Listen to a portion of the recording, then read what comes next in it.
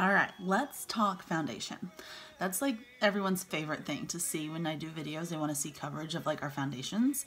And you guys, we have so many different ones that like you can suit any need that you need. And that's what I love. There's not just one size fits all. So my ride or die, of course, is the VFX Pro. This is full coverage, super lightweight, and we're going to use this one today. But we also have a serum, which is ideal for mature and dry skin. This is more of a medium coverage, but you can build it to a full. I've done that before because I really like full coverage. We also have the Stay Matte, and this is really good if you have oily skin. It helps with shine. It helps um, minimize your pores. It's oil free. I honestly use this and I love this and I have dry skin. So that's the thing. I use all of these and I'm like, cool, I love it. um, we also have a CC cream, which is a color corrector. Um, these I feel are more medium coverage, but again, you can build these to full coverage. So this is really good if you have like a lot of redness you want to color correct. I love using the CC cream, which I really didn't think I was going to. We also have a BB cream, which is pretty much a beauty balm. It's a tinted moisturizer.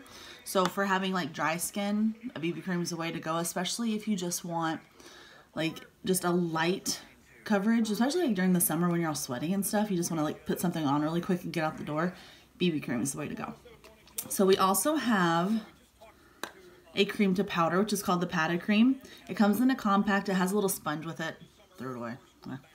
Um, so this goes on as a cream. It kind of dries to a powder. Um, it's good for all skin types. Me personally, my skin is so dry. I don't use this very much because I feel like it almost accentuated it a little bit more.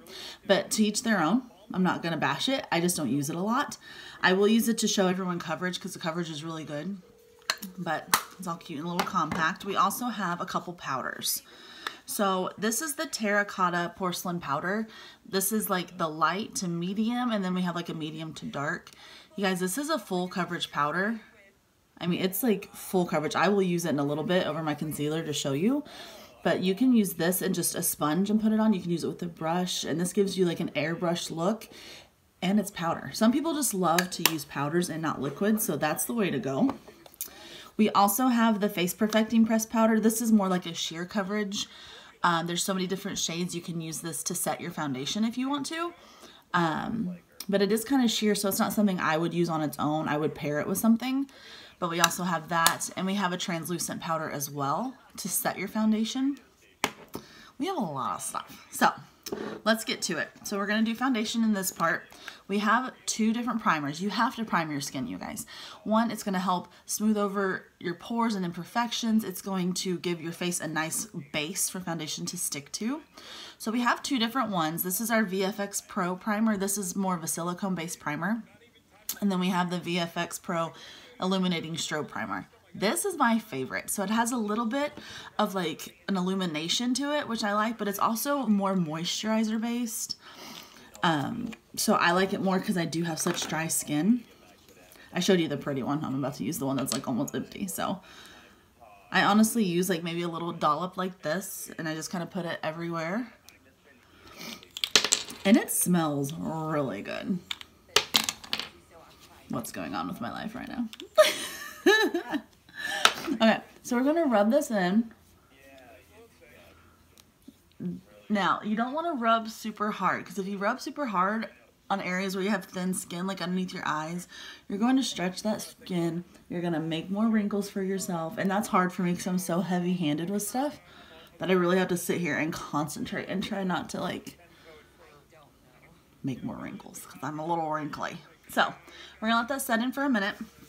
Now VFX Pro again, this is our most expensive foundation and this is $24.90. I'm sorry, what? It's to last a very long time. We have multiple shades. I actually can wear about three of these shades, but 04 matches me really well. It's for people that are fair but have like pink undertones because I do have some like redness. This is perfection. So my mom puts it on with her fingers and her hands and just puts it on like a normal liquid like people have done for centuries. But um, you can use a sponge. I honestly, I'm obsessed with using a brush now. So this is a Morphe brush. It's a Jaclyn Hill brush, but it's it's fluffy, but it's got some strength to it. Ah, whatever. So that way when you put it on, it's not just like doing this. It's like keeping it shape and pushing it into the skin. So we're going to do three pumps, okay? And then I like to kind of just put it everywhere and then we'll go in and like blend it out. So I like to use the brush to get the product everywhere and get it sort of blended and then if I need to, I'll go back in with a damp sponge and just perfect it a little bit more. Always try to use a damp sponge. Sometimes for work, I'm just like busy and not in the mood to like go get it wet. So I'll use a dry sponge, but a damp sponge, it helps it not absorb as much product when it's damp because it's already absorbed the water. There's a trick there. So, you know, give that a try. Okay, so voila. So I'm going to go in with my sponge and we are going to just kind of just go over it lightly. It's pretty blended, but just to make sure, because you know, we gotta look flawless. Okay, so that is that. It took three pumps to do my whole face. All of my redness is gone. Don't mind this. We're going to conceal it in the next video, so don't worry about it. But just beautiful. It's really lightweight. One time I it was like late at night and I went to the restroom and I looked, I go, my makeup is still on. I honestly thought I washed it off because it felt like I had nothing on my face. And that's the kind of makeup I like. I don't want to feel like I have a bunch of makeup slapped on my face. It is not a good look for me. All right. Okay. So that's it for the foundation. So the next video, we're going to do some highlighting and contouring and then we'll just keep going. All right. I'll see you in a minute.